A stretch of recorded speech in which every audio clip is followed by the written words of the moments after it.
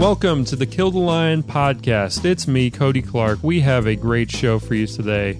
Kansas Bowling is here. She's a she's a wonderful filmmaker, uh, wonderful actress. Uh, we can't wait to talk to her. But first, if you like the show, two dollars per month. KillTheLionFilms.com. That's all we ask. Two dollars per month keeps the film studio afloat, keeps the podcast afloat. So uh, go over there, give us some money. And now, Kansas Bowling. All right, Kansas, good to have you on the show. Thank you for having me. So, I really enjoyed your film Cuddly Toys, and I really enjoyed your book Cuddly Toys Companion, which, in my opinion, it's it's one of the best filmmaking books I've ever read. I'm gonna recommend that sooner than I'm gonna recommend like Sidney Lumet's book or whatever, because I think it's more practical for somebody putting something together themselves and going out there and knowing the the craziness involved and everything that can go wrong and go right and be magical and be crazy. Tell me about that book because I, re- I really think you you captured uh, something with that. Oh, thank you so much. Um, I don't know. It's kind of hard to talk about the book because when I did the movie, you know, you have to edit it and watch it a million times. And like once I was done with the book, I had my friend like kind of just proofread it, I guess, and then I I haven't really read it since. I like barely remember what I said. but I don't know, I just, you know, said said what happened. That's awesome that it's um resonating and helpful and uh it's great. Whatever I said. Well, I I can tell you as somebody who has read it that it's very good. And uh, I recommend it. I think you should you should check it out sometime. Yeah, and I, I have a another book I, I, I put out um, with the same publisher, Far West Press. It's something that me and my sister made when we were little kids, actually. it's called Pre Written Letters for Your Convenience. We, we had this idea when we were little kids where we would have a, a book of all these pre written letters. So, somebody, if you needed to write a letter, you would just look up the occasion and rip it out and send it to someone. But the joke is that the letters are all really specific. So we have a whole book of those that Far West Press also put out that we made when we were like probably like 10 to 13. That sounds great. That sounds up my alley comedically and and like something that I would I would want to use at some point just for fun. Yeah, I wonder if anyone's ever going to uh, use it like that. So anybody who wants to buy the uh, the filmmaking book and wants to, you know, get something else from this publisher as well. What's the publisher again? Far West Press. All right. FarWestPress.com. They're they're both pretty cheap, right? Yeah, I think the Cuddly Toys book is like eleven dollars or something. Uh, my sister also has a poetry book. Oh no, yeah, it's Cuddly Toys. Sorry, I'm looking at the website right now. Cuddly Toys Companion is ten bucks, and uh, pre-written letters for your convenience is actually twenty dollars because it's color but it's worth it. All right, so get those two and get uh get the other book is just buy every book on the site. Yeah, yeah. Just anything that's on the website, just add it to your cart and just check out. Yeah, good idea. So Cuddly Toys is a Mondo movie, and I think that's pretty admirable because I don't think that's a genre or subgenre that people are necessarily uh, resurrecting these days. But you did. What drew you to making a Mondo movie? I just thought it it was um it, it was a kind of an interesting structure to tell the story, and of course I've always loved Mondo movies. My favorite movie of all time is like kind of a Mondo movie. Well, yeah, I mean, pretty much is uh, F for Fake, the Orson Welles movie. But the sort of pseudo educational style that that I, I pretty much ripped the ripped off the exact format from Faces of Death. It just seemed like a an interesting way to tell what I wanted to tell. Yeah, I think it's a it's a great way to approach documentaries because there are a lot of documentaries out there that purport to be, you know, completely accurate and then you'll go online afterwards you'll find out that they fudged and messed up a bunch of details, but with a Mondo movie, they're kind of like winking outright at the start and they're kind of telling you that some of this stuff's going to be real, some of this stuff's going to be fake, just in the energy. So it's a bit more honest than some documentaries in a certain way. And also, you know, in general with fiction, sometimes if you want to tell the truth, the best way to tell it is through fiction. It's the safest way legally, and it's also just because everything that comes uh, you know into your life and and rattles around in your brain becomes fiction anyway in a sense i think that's i think they said that in one of the todd solondz movies uh, storytelling or something that's a, that's a great way to put it yeah what are your thoughts on on that and and telling the truth through fiction basically I mean, you said it better than I could. I'm really bad at, at talking. I'll I'll write it out. I'll I'll message you it, and you can just say it in your voice, and then. No, no, no.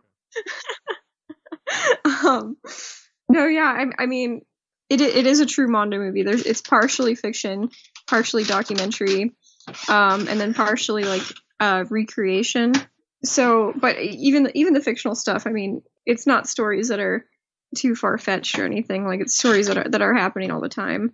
Yeah, I think that's an important distinction too. Yeah, it's uh, you know, as as unbelievable it may be in how it's um, presented in the film, it's not far fetched from real life in, in a certain sense. Yeah, I, I mean, there's like a teenage runaway. There's a girl that overdoses. There's like a Catholic girl that feels guilty for losing her virginity. Yeah, I mean, it's just like things like that are happening all the time.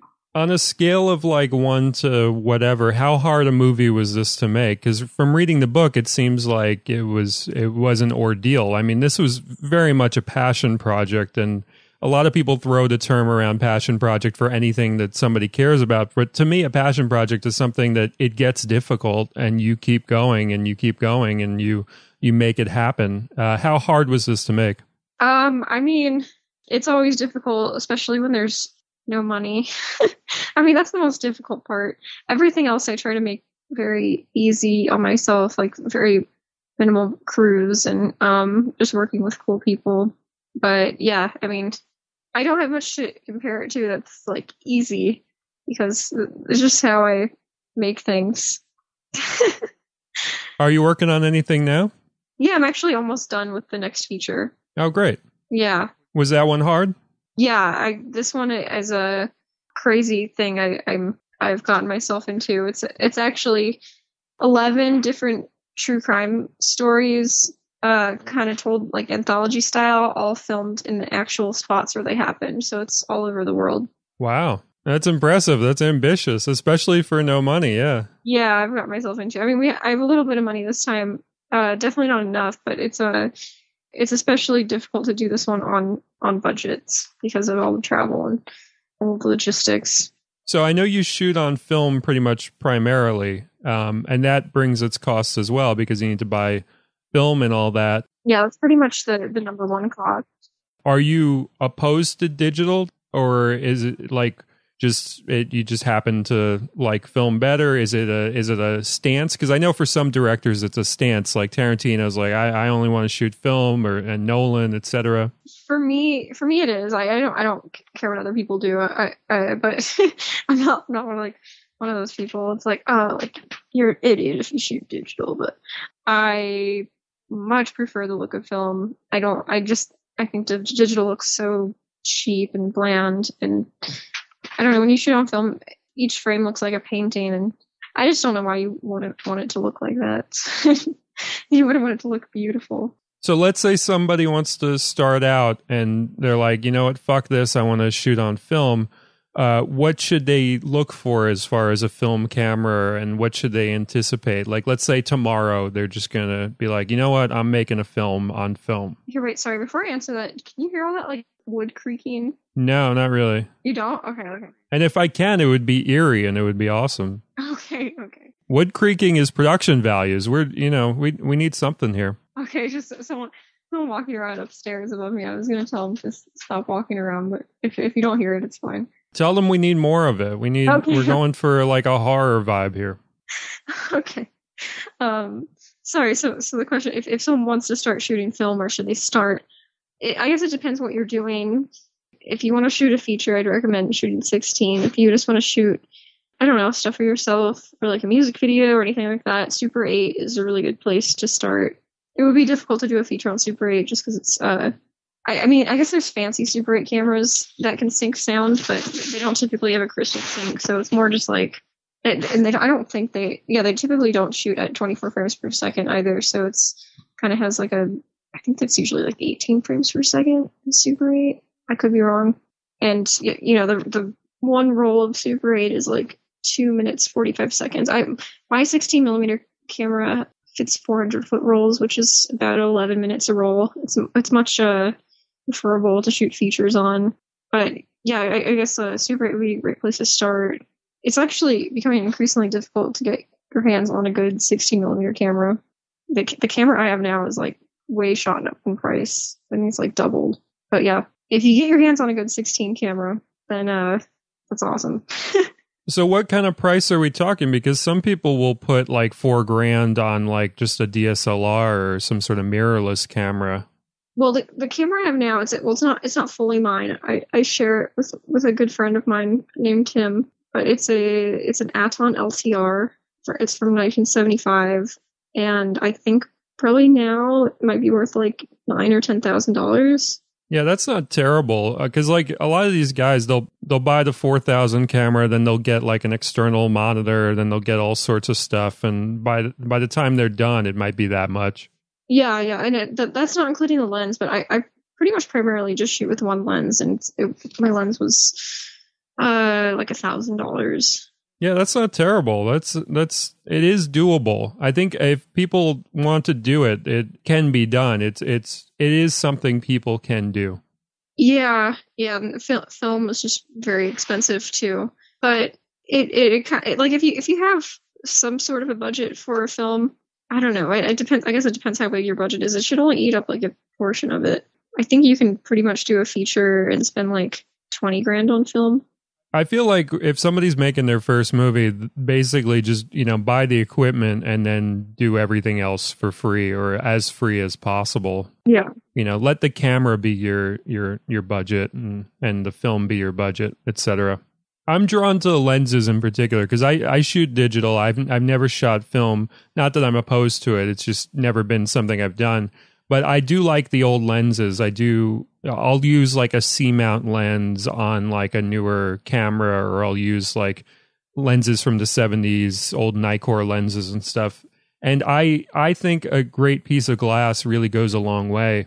And I I get frustrated when people will buy you know the top of the line camera and then they'll just get like the piece of crap plastic lens that's overpriced that goes along with it and the autofocus works perfectly on it. It's like fuck you. Just get like the manual focus lens that's like the gold standard for the past like 40 50 years and do something in that regard. Like it's you're going to get a more interesting look. I'm always trying to get as much out of digital as i possibly can. Yeah the lens is everything. I my friend jay burleson recently he just released a double feature there's one called third saturday in october and then the other one's called third saturday in october part five. And i i'm i'm in part five but part one he made it, it's set in the 70s and he actually got like a 70s lens that he put on the digital camera that they're shooting with and it looks amazing. Like it, it really looks like it was shot on 16 it's really crazy.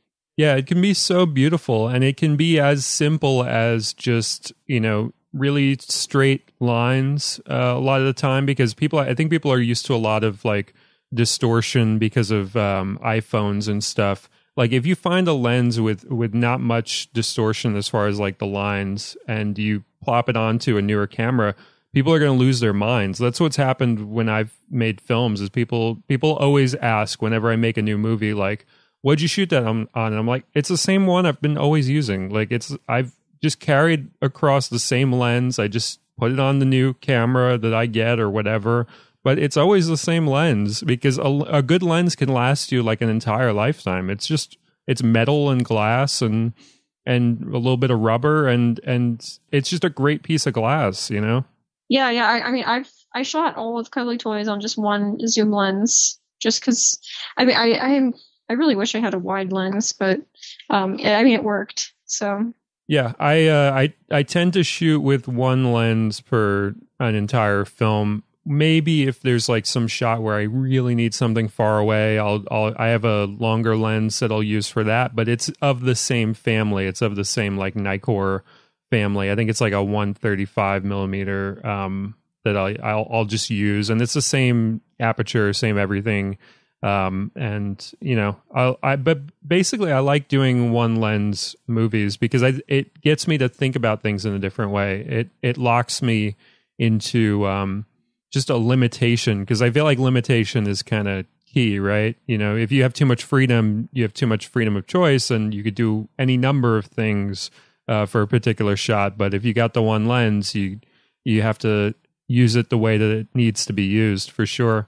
So I want to talk about limitation as far as budget because I do think that you know low budget it's very difficult it's it's hard to make a movie for no money it it sucks to not be able to throw money at problems to make them go away but there there can be something really beautiful in that you make movies you wouldn't otherwise. I always think about like my cheapest projects. They they wouldn't exist if I had a budget. Like I just wouldn't even make them. Yeah. But because I had no money, I made so and so project and the people that love that film, they don't think about how much it cost when they watch it. They just think about how much they love it and how much they're enjoying what they're seeing. So I think it frees your mind a little bit to think about things in a different way. Um, have you have you kind of relished the the low budget uh, approach to filmmaking and been grateful for it in certain ways? Yeah, I mean, uh, I definitely wish I'd have more money to like pay people and things like that, but uh, otherwise, I don't think I would do much different because you know, uh, I mean, there hasn't really been a time where I've wanted to film something and I haven't been able to because of a money issue. Like, I feel like I've pretty much always gotten what I need to. Actually, uh, this is a fun, funny story. Recently, I was filming in Massachusetts for my new movie, and I really needed two cars that were like 1982 or older, so they can match this um this story. And if I was doing a, a movie with a big budget, I could have gone through the proper channels and rented them from certain people or um, people that would rent out cars or whatever. But I I was able to like I got these people to agree to let me borrow theirs for the shoot. I was going to pay them like a hundred dollars or something, but it's the day of, and the person backs out. They're like, eh, like sorry, we're busy tonight, and I was like, oh my god, like the scene's not going to work without the cars because it was like she needed to be pulled over by this guy pretending to be a cop and then kidnapped and then so I was just like freaking out and I, I just like I was just asking everyone. I put it all over the internet. I had all these other people asking, like I was asking strangers, I was doing all of this. And finally I, I got a hold of this classic car club in Rhode Island. and they were like, We'll we'll let you have our cars. And they were all muscle cars, but I was like, whatever. At this point it doesn't even matter. Like it doesn't make sense the characters are driving muscle cars, but whatever. It's it's like at least historically accurate. And um so we drove like two and a half hours to Rhode Island to finish the scene and we get there and there's just this row of cars like everyone in this neighborhood came out with their old cars and they were like take your pick but then like 5 minutes later these other people pulled up and the the people that pulled up later were the people that I was actually originally talking to and the people that were there that I had first met were pretending to be those people because they wanted to be in the movie and so there were like 15 cars that showed up because they all really wanted to be in the movie. And then I got to take my pick and I picked out two cars. Um, and then we were just like all hanging out with these like Rhode Island people with their classic cars and it was it was hilarious. So, you know, stuff like that would have happened if um I've just rented the cars properly. But um, you know, it, it, it was um very scary that I thought it wasn't going to work out at first. But you know, pretty, I don't I don't think there's been a case where I haven't figured something out like that.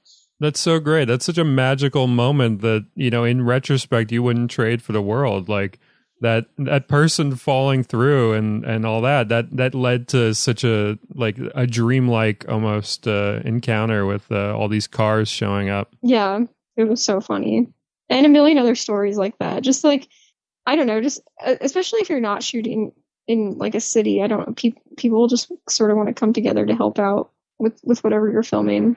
It's always fun.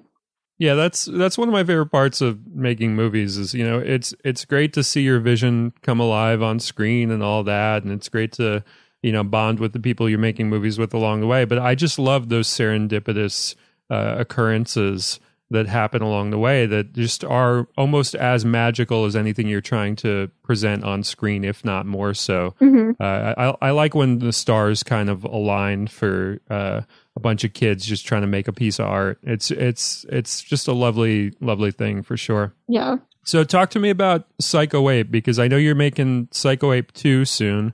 uh, with Addison and Greg.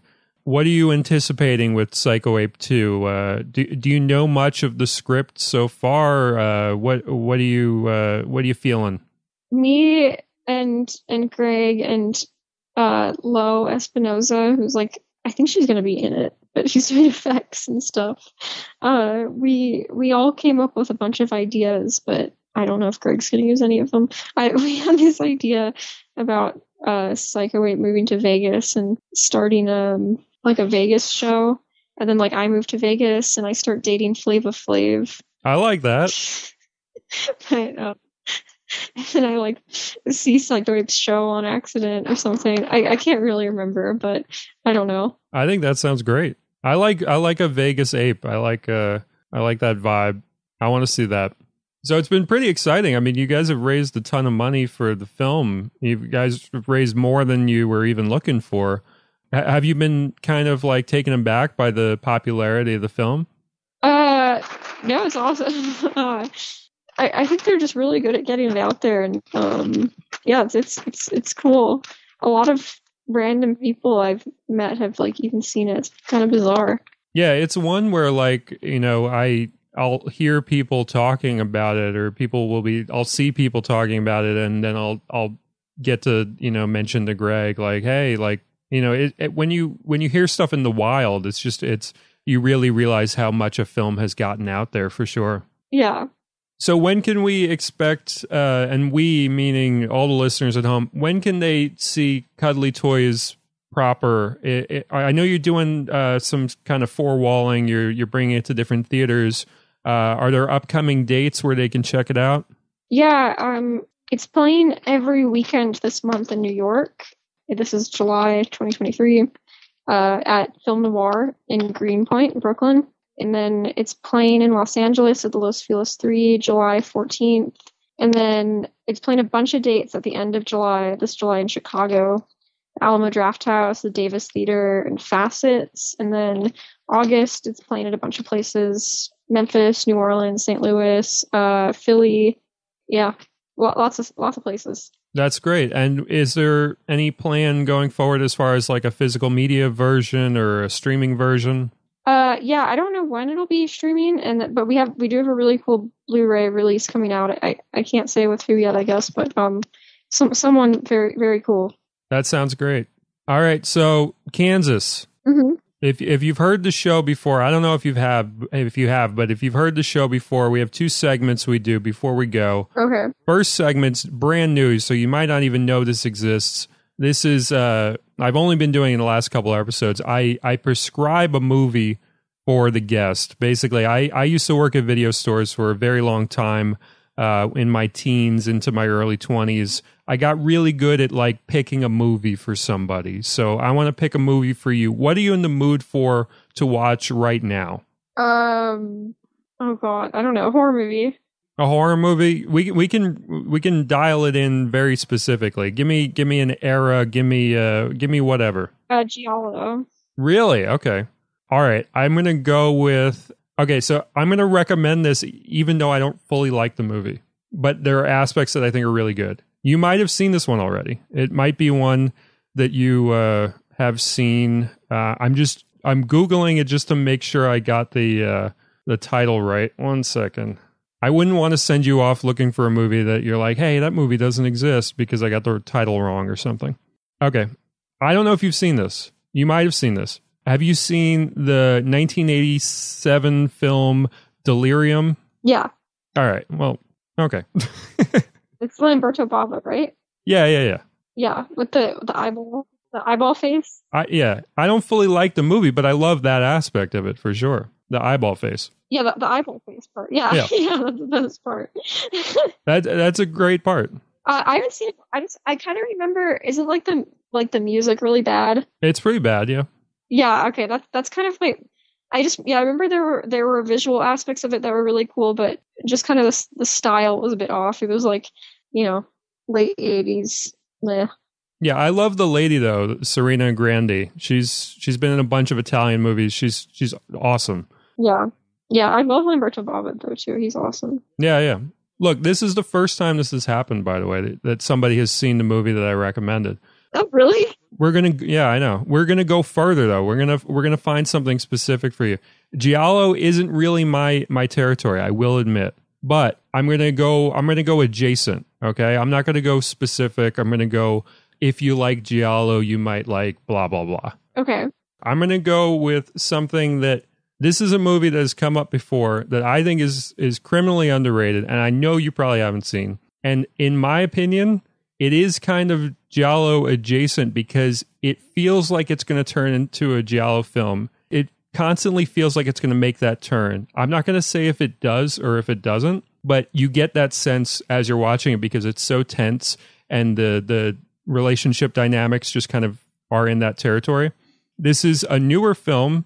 It's called Backstage. It's from 2005, uh, directed by Emmanuelle Bercot. Have you seen that film? No. Okay, good. I really think you're going to like that movie, especially if you're anticipating that it, this could be a horror. And I don't know if it's going to be a horror, but it could be a horror. It's about this uh, groupie who loves this pop singer and uh, this this French pop singer, and they they show up at her house and they they show up with the pop singer, and they're going to air it on TV that this girl is going to freak out and be so happy and just be uh, like so ecstatic that this pop singer is is at her house that she loves and they show up at the girl's house and her reaction is just entirely not what they're looking for. Like it's so sad and it's so like oh fuck like we can't even air this because it's just like th- this girl is just not giving us anything we can use. And that's where the movie starts and i won't tell you where it goes from there but that's that's your setup and eh, to me it's one of the best movies made in the last like 30 years easily and nobody's fucking seen it it's so good Yeah, it sounds good. all right so that's your that's your movie recommendation uh, i hope you will you will actually watch the movie because those that do tend to find that they they like the movies that i i recommend in this segment Okay. all right next segment if you've heard the show before we do this every episode stupid questions are you ready to be asked some stupid questions Yeah. I, I like this stuff better than talking about my movies. Yeah, yeah. This is uh, we could do this all day. okay. First stupid question: Do you like The Wizard of Oz? Yeah, of course. My name's Kansas. See, I I don't know. You might like resent it or something. No, it might be competition. It's it's. I think it's a perfect movie. It is. It's so influential too. Like I I watched it for the first time in a bazillion years, like maybe a couple months ago, and I realized like, oh, this is just every movie henceforth. Like you you find uh, like everything in it. Yeah, I think I think John Waters said that. He's like every movie is basically just trying to remake Wizard of Oz. Yeah, it's. It, I think it's an immaculate film, and I I always get disturbed by the part with like the pollen because I know they're basically raining asbestos on them. Yeah. Crazy movie. All right, second stupid question: Are you a good bowler? Not really. No. Yeah, I, I think last time I played bowling, I think I went around Christmas with my boyfriend Don and my mom and her boyfriend, and I think I think like the first game I got like I was like third out of four people. So That's not bad. you know, yeah. All right, so next stupid question: Have you have you ever done candlepin bowling? No, Do you know what it is? no. Okay, so this is a New England thing. This is when I used to go visit my grandparents in like Cape Cod or whatever. This is this is the alternate universe I would be thrust in, which is candlepin bowling, which is it's like bowling, but everything's fucking different and weird. You got these long sticks that you have to hit, and you have a smaller ball, and you feel like you woke up in like Bizarro World. if you ever want to like trip without drugs, just try candlepin bowling. Okay, that sounds cool. Yeah, you ha- you got to go to like Massachusetts, Connecticut, and you'll think you're walking into a normal bowling alley, and then you you look at the the lanes and you just see these these long sticks, and there's a bunch of them. And Oh, so it's not. I was picturing something like outdoors. There's like candle bowling places you go to. actual full on bowling alleys, but you walk in and it's crazy time. That sounds awesome. I want to do that. Yeah, I think you'd like candlepin bowling. Okay. Allegedly, it's harder than actual bowling, which is weird because it's not you know a known sport. But yeah, candlepin bowling. Okay. All right, next stupid question. Have you ever done duck pin bowling? No. That's another bowling variant. I, you, I I think I've only done normal bowling. so- Okay. Duck pin bowling, they're they're shorter uh, pins They're fatter. They kind of look like ducks, so they're just kind of sitting there in the distance. And uh, you you use a smaller ball, kind of like candlepin. Um, but yeah, that's duck pin bowling. A bit harder to find. Uh, still, again, kind of New Englandy uh, thing, but candlepin more popular around there. But there is duck pin bowling. You can try that at some point in your life. Okay, I will. All right. I promise. All right. Well, Kansas, thank you for being on the episode. By the way, this is this has been a delight. Uh, I really enjoy your work. Thank you so much. I'm looking forward to the new one. Um, we, me, and and Craig and our friends Hunter and Darby, we watched one of your movies when when we were filming Bad Brain. Oh, nice. We watched No Shark. No Shark is a it, that's the one the Japanese love. That's a classic. Really, I I thought I, I found it very fascinating. It is it is a very strange film, and for some reason the Japanese have embraced it because I think they love shark movies, and they were waiting for something kind of existential and uh, genre breaking because it's the shark movie without sharks, and it's been very popular there. Yeah, that's I, I kept waiting for the shark, and then I was like, oh my god, it's called No Shark. I love it. You should watch more of my movies. None of them are shot on film, but they they are kind of visually interesting. Yeah, yeah, I'll, I I will watch more of them for sure. All right, Kansas, can't wait for the next film. What what else do you want to leave the the listeners with? What what do you want to tell them? Whenever whenever you can, whether it's uh, streaming or in a theater, see Cuddly Toys. Yes, yes, and I, I agree as well. I love cuddly toys. I think it's it's so unique and and so off the wall in all the best ways. And I had such a great time uh, seeing it in a proper theater. So I would recommend people seeing it in a proper theater for sure. Thank you, thank you. Alrighty, Kansas. Anytime, come back, talk your your heart's content. That was fun, and uh, thank you for being on the show. Okay, cool. Um, thank you. Thank you. Talk later. Talk later. Thank you all for listening, and if you enjoyed the show, killthelionfilms.com, $2 per month. That's all we ask. It keeps the film studio afloat, it keeps the podcasts coming out. So uh, show your appreciation there. Thank you for listening. See you soon.